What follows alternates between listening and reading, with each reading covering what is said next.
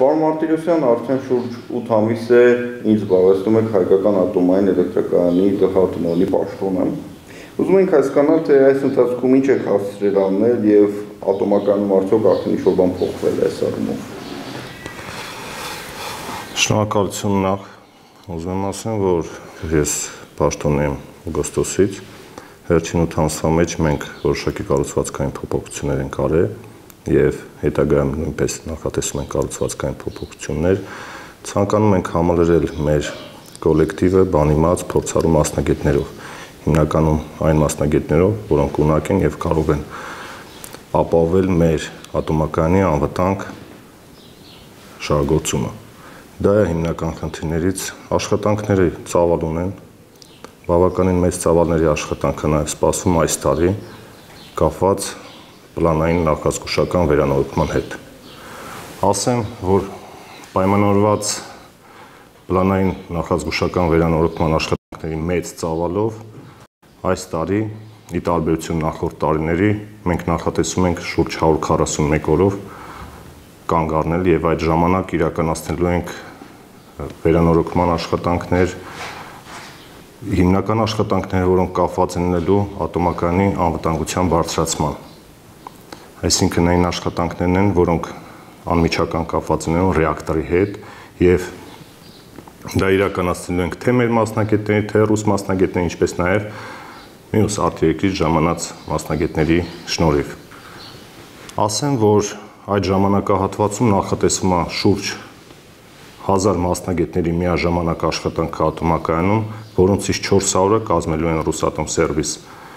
կոնցեռնի ներկայացության մասնագետները։ Այդ ժամանակահատվածում 141 օրվա ընթացքում մայիսի 15-ին կանգառից հետո մենք սկսելու ենք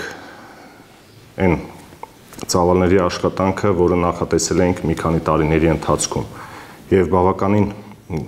աշխատանքներ կային, որոնք կուտակվել էին։ Իհարկե դա նաև մեծ պատասխանատվություն է մեր համար, քանի որ մենք այդ ժամանակահատվածում համագործակցելով թե ռուսական, թե եվրոպական ընկերությունների հետ իրականացնելու ենք ռեակտորի Իրանի թրծաթողման, դա օջիգնա, իրականացնելու ենք սպլինկերային համակարգի, իրականացնելու ենք սաուզի, դա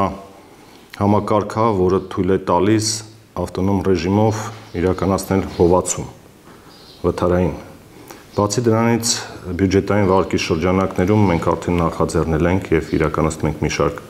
ծրագրեր անվտանգության մյուս հանգույցների փոխարինման, նորացման եւ այդ անվտանգության երաշխիքների բարձրացման ուղղությամբ։ Ասեմ, որ բյուջետային վարկի շրջանակներում 60 շուրջ 63 եւ 2 միլիարդ դրամի շրջանակներում արդեն իսկ մենք ստացել ենք առաջին 18.7 միլիարդը, որը ծախսել ենք հիմնականում գնման գործընթացները կազմակերպել ենք այդ անվտանգության սարքավորումների արդիականացման վրա։ Մենք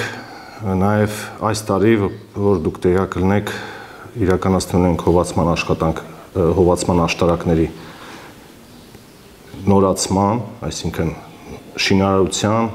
եւ մոդեռնիզացիայի աշխատանքներ իրականացնելու ենք դիզելային գեներատորային կայանի, դա անվտանգության սարքավորումներից մեկն է, բավականին ցավալուն աշխատանք է, դրա մրցույթը կկանա եւ նոր ենթակայանի կառուցում ենք նախատեսում։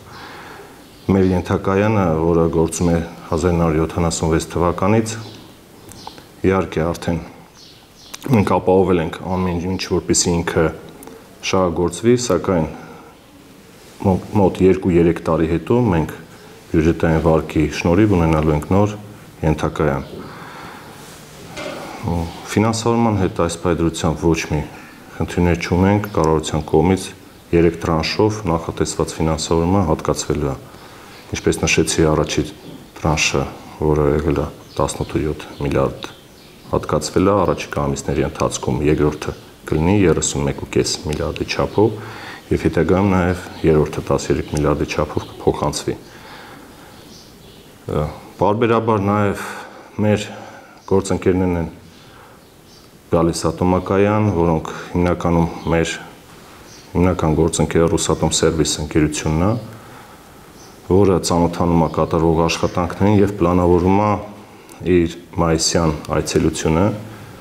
որի ընթացքում իր մասնագետների շնորհիվ ես ինչպես նշեցի, պետք է իրականացնի այդ միջոցառումները կապված Իրանի թրծաթողման, սպրինկերային համակարգի, այդ վթարային հովացման համակարգի աշխատանքների, ինչպես նաև պետք է իրականացնի SMP համակարգի, դա համակարգ է, որը թույլ է տալիս անվտանգ եւ երաշխիքային սնուցում վթարային իրավիճակներում։ Ամբողջությամբ մենք այդ աշխատանքները այս տարի նախատեսել ենք եւ կիրականացնենք նախատեսվող ժամանակ ժամկետներում ազգային անվտանգության ծառայությունում աշխատանքից հետո հեշտ էր անցում կատարել այլ բնակավարժում աշխատանքի, որը ելի ինչ որ առումով անվտանգային եւ ռազմավարական նշանակություն ունի։ Շնորհակալություն, ինչպես նշեցիք, այո, անվտանգային եւ ռազմավարական նշանակություն ունի ատոմականը։ Ես ինքս մասնագիտությամբ ճարտարագետ եմ, որոշ չափով դա էլա օգնել ինձ ավելի շուտ ինտեգրվել այս աշխատանքներին եւ կարծում եմ մենք այս բանը ոչ մի տես խնդիրներ չունենք։ Իհարկե, խնդիրները տարբեր են ազգային անվտանգությունում եւ հայկական ատոմային էլեկտրակայանում, բայց մի բան է ընդհանուր, որ դա մեր երկրի անվտանգությունն է եւ մեր տնտեսության երաշխիքն է։ Մեր տնտեսության անվտանգության երաշխիքն է հայկական ատոմականի անվտանգ շահագործումը։ Շատ տարիներ առաջ ես հիշում եմ մամուլում կարծում էինք դժգոհություններ կար ատոմականում աշխատավարձերի հետ կապված մի շարք աշխատակիցներ անգամ դուրս էին եկել այդ պատճառով հիմա դարձյալ այդ խնդիրը պահպանվում է թե գոնե որոշակիորեն մեղմել է ես ասեմ այն ժամանակ խնդիրները իրոք առաջացել էին եւ տնօրինության կողմից հայեկի եւ կառավարության կողմից գործուն քայլեր ձեռնարկվեցին եւ աշխատակիցների աշխատավարձը բարձրացավ բոլորինը։ Այդ թվում նաեւ ներ մասնագիտական աշխատանքներ իրականացնող մեր աշխատակիցները ավելի բարձր են բարձրատրվում, քան մյուսները վարչական աշխատակազմից։ Իհարկե, խնդիրներ աշխատավարձի հետ կապված կարող են միշտ լինել ցակել, բայց կարծում եմ այս բանը այդ հարցը լուծվել է։ Այս բանը տենց խնդիրներ չունենք օրեր առաջ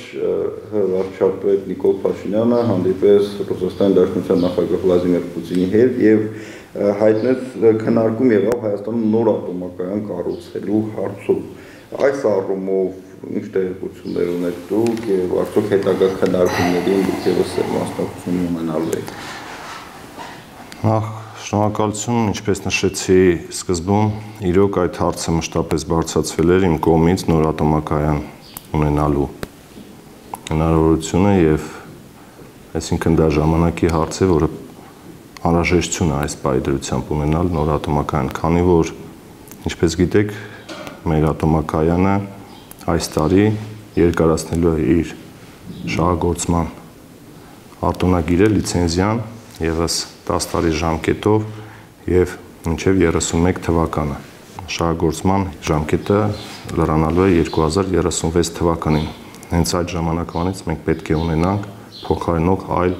էներգիայի աղբյուրներ եւ իհարկե հաշվի առնելով որ հայկական ատոմակայանը իրականացնում է շուրջ 40% հոսանքի մատակարարում Հայաստանի Հանրապետության մենք կարևորում ենք նոր ատոմակայանի կառուցման հարցը Այո, պարոն վարչապետի հետ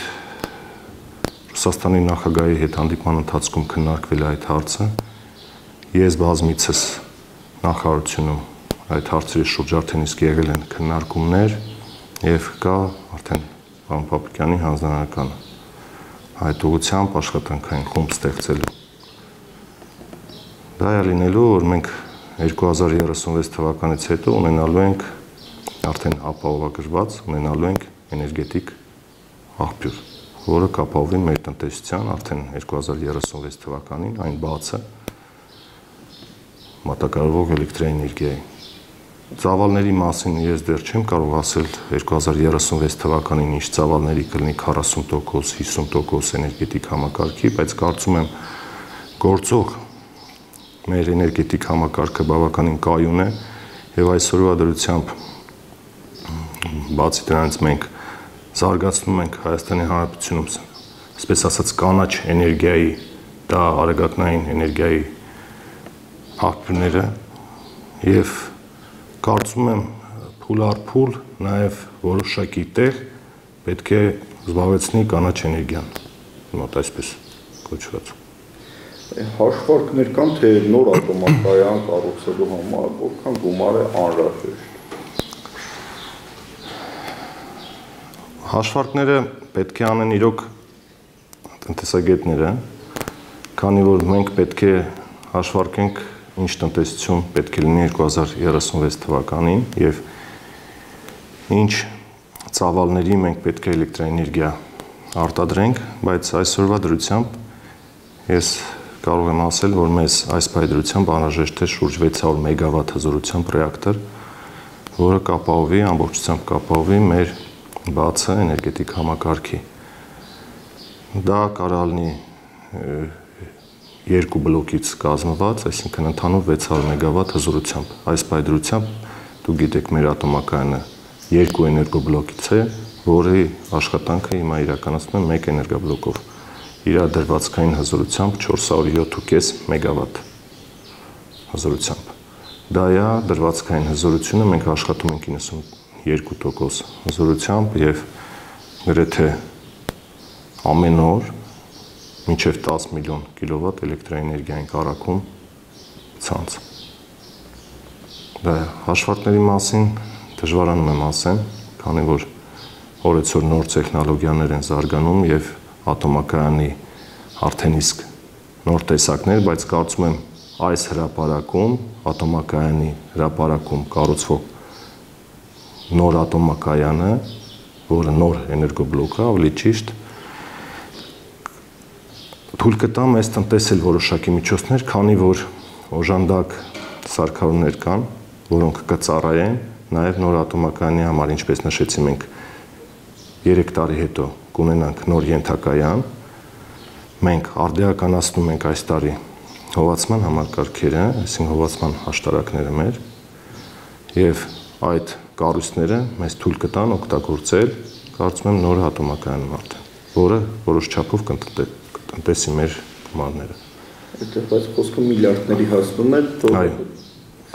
Սովորաբար ձեզ ասեմ, որ նոր ատոմակայանը դա բավականին մեծ ներդրումներ պահանջնող աշխատանք է, որը տարբեր ընկերություններ, տարբեր պետություններ ծախսում են մեկ էներգոբլոկի համար մինչև 1000 մեգավատ, մինչև 6-7 միլիարդ դոլար։ Դա է արժեքը մոտավոր, բայց ես ինչպես նշեցի, մեր ատոմակայանին եղած սարքարումները կփ մենք կփորձենք օգտագործել հետագայում նոր ատոմակայանի նոր բլոկի շահագործման ընթացքում, ինչը կտնտեսի լրացիչ միջոցներ։ Պարոն Մարտիրոսյան, այս տարի, ինչպես նաև դուք նշեցիք ձեր խոսքի սկզբում, նախատեսված է 141 օրով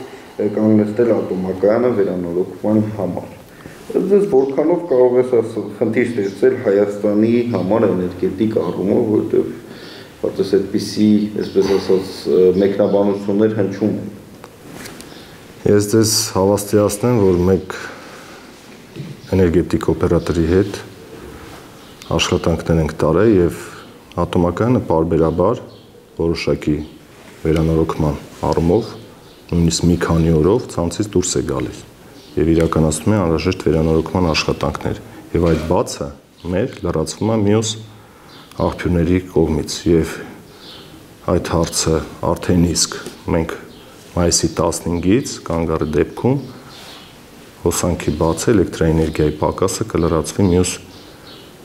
էլեկտրաարտադրող կազմակերպությունների կողմից ոչ մի խնդիր չլինելու այդպիսի կլինելու դեպքում մենք այդ քայլին չենք գնա 141 օրվա։ Քանթի չկա արդեն իսկ այդ հարցը լուծված է։ Ուղղակի մամուլում վերջին շրջանում բավականին շատ է տարածված տարածում են լուրեր, իսկ առանձին նաև ուժերի կողմից տերում է քաղաքական գնահատական ատոմականի շահգործմանը, շրջանառվում են նույնիսկ լուրեր, որ ատոմականը կանգնած է, չի աշխատում, ուզում եմ հավաստիացնեմ եւ հեսա դուք էլ կհամոզվեք, մենք կարող ենք այցելություններ իրականացնենք նաև ատոմականի տարածքում մեքենայական սրա եւ համոզվեք, որ ատոմականը աշխատում է իր բնականon ռեժիմով եւ արտադրում է էլեկտրոէներգիա։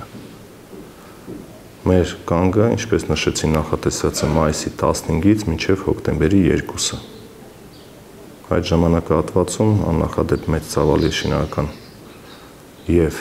նորացման, ինչպես նաեւ սարքավորների փոխարինման աշխատանքներ կիրականացնեն։ Դա հիմնականում կապված է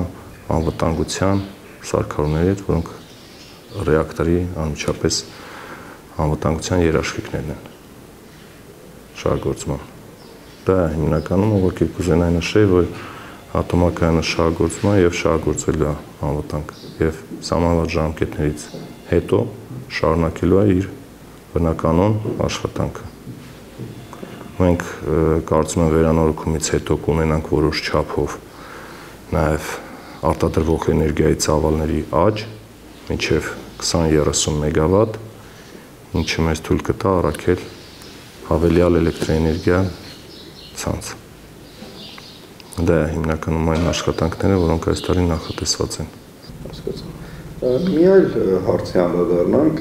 փոխարժեքը, այսպես ատոմակայանի սակական վրա ինչպես է ազում դոլարի, ի փոփոխություն ստանում։ Իհարկե, դոլարի ասենք կամ դրամի որոշ չափով արժեզրկումը իր հետևանքները թողում է։ Քանի որ հիմնականում մեր մատակարար կազմակերպությունները արտերկրից են եւ մենք ստիպված ենք լինում վճարել այդ օրվա տարադրամի փոխարժեքի կուրսով։ Դրա համար իսկ իր հետևանքները թողնում է որոշակի ծավալներով ավել չափով գումար ենք վճարում։ Շատ Իսկ ատոմակայանի վարկի սպասարկումն այսպես ինչպես է ընթանում նորմալ է։ Մենք ժամանակին իհարկե ատոմակայանի վարկի սպասարկումը մենք իրականացնում ենք, ինչպես նշեցի սկզբում, մեզ տրամադրվել է 18.7 միլիարդ չափով վարկ, որը մենք իրականացնում ենք նաև ժամանակին այդ սպասարկումը իրականացնում առանց որևէ խոչընդոտների։ Ես բան ես ասեմ, որ ֆինանսական որևէ խնդիր չունենք եւ չենք էլ ունենալու, կարծում եմ։ Իսկ քանի ֆինանսական խնդիր չունենք, իսկ կառավարությունը շատ դեպքերում ծախսերի, այսպես ասած, օպտիմալացում է անում, փոխում է փոխը ավելի, այսպես արդյունավետ ծախսեր, տնտեսումներ արել է գնումներում հայկը։ Իհարկե արել է, մենք որոշ աշխատանքներ, որոնք նախատեսված են շահագործման ժամկետի երկարացման ծրագրի շուրջ, մենք նաև այդ աշխատանքները իրականացնում ենք մեր մասնագետների շնորհիվ, որոնք եւ շուրջ 10 միլիոն դոլարի արդեն իսկ նախատեսած աշխատանքները մեր իրականացնեն մեր մասնագետները, դա կլինի տնտեսում։ Տնտեսում եւ իհարկե գնումներով էլ ենք մենք աշխատում, տնտեսումներ իրականացնենք, քանի որ մոծտային գործընթացը իրականացվում բաց մոծտային ընթացակարգով այն աշխատանքները, որոնք մենք տանում ենք գնման գործընթացով, փորձում ենք ամեն ինչ անել, որպեսզի մատակարարվի որակյալ, իսկ ատոմակայանի համար դա առաջի պայմանն է։ Որակյալ եւ իհարկե գնային առումով մաչելի։ Քանի որ ատոմակայանը նաև ինչ-որտեղ տնտեսության, բիզնես, այսպես ասած, գործունեության տեսակ է, մենք հարևան երկրների հետ, Իրանի հետ, Վրաստանի հետ առևտուր կարողանում ենք անել այս առումով, այսինքն որպեսի ավելցուկը հարմար գներով, այսպես ասած, արտահանենք արտահանվում է մենք որպես արտադրող ես ասեմ մենք արտադրում ենք արդեն արտահանելու հետ կապված արդեն էներգետիկ համակարգն է մեր ամբողջությամբ այդ ավելցուկը արտահանելու իրականացնում Իրանի հետ է իրականացնում, եթե չեմ սխալվում, Վրաստանի հետ էլ բացել, եթե լինում է, լրացվում է։ Դա մենք մենք պատասխանատու ենք մեր արտադրած էլեկտրէներգիայի համար։ Մենք անձամբ առաքումներով այլ պետություններ չենք զբաղվում ատոմակայանը հայկը։ Հասկացա։ Շատ լավ եւ վերջին հարցը, Պետրոսյան, ուրան հասկանանք, ատոմական ըստ Հայաստանի համար էս բան ինչ նշանակություն ունի կոնկրետ։ Դա մեր տնտեսության անվտանգության երաշխիքն է ատոմակայանը։ Տնտեսության զարգացման հետագայում նաև ունենալով էժան էլեկտրաէներգիա, մենք կարողանանք ունենանք նաև մրցունակ տնտեսություն։ Դա է ատոմականից այս փայլրությամբ մեր ատոմային էներգիայից էժան արտադրանք այս փայլրությամբ չկա։ Դրա համար ես կարևորելով հայկի շահագործումը եւ արտադրող էլեկտրաէներգիայի առաքումը մենք ձեռնամուխ ենք եղել արդեն իսկ այս պայդրությամբ հերանեկարային քայլեր ենք ձեռնարկում, որպեսզի կարողանանք մի քանի տարի հետո ունենանք նոր ատոմակայան։ Եվ այդ համատեքստում բարբերաբար ինչպես նշեցի, կազմակերպվում են քննարկումներ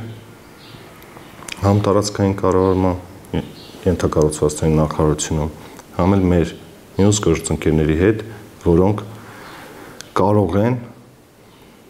մեր հետ մասնակցել այդ նախագծերի մշակմանը։ Իսկ մեր ատոմակայանը ձեզ ասեմ, որ նախագծվել է եւ կառուցումը 76 թվականին իրականացվել է Սովետ միության ժամանակ, իսկ հիմա իրավահաջորդ գիդրոպ ռուսական գիդրոպրես ընկերության կողմից, որը նաև մեր հիմնական եւ ասեմ կոնստրուկտորն է։ Մենք բոլոր աշխատանքները համաձայնեցնում ենք այդ ընկերության հետ հիմնականում այն աշխատանքները, որոնք կապված են ռեակտորի հետ։ Եվ հիմա էլ սերտ համագործակցություն կա այդ ընկերությունների հետ եւ առաջիկայում նաեւ սպասում է մեր այցելությունը իմ գլխավորությամբ ամսի 11-ից 17-ը ապրիլ ամսվա մենք նախատեսում ենք այցելել Ռուսաստանի Դաշնություն եւ Ռուսատոմ սերվիս ընկերության ներկայացուցիչների հետ նաև քննարկենք մեր այս տարվա անելիքները վերանորոգումների հետ կապված եւ նախագծենք հիմնականում այն աշխատանքները, որոնք կարող է կապվածնել նոր ատոմակայանի կառուցման հետ։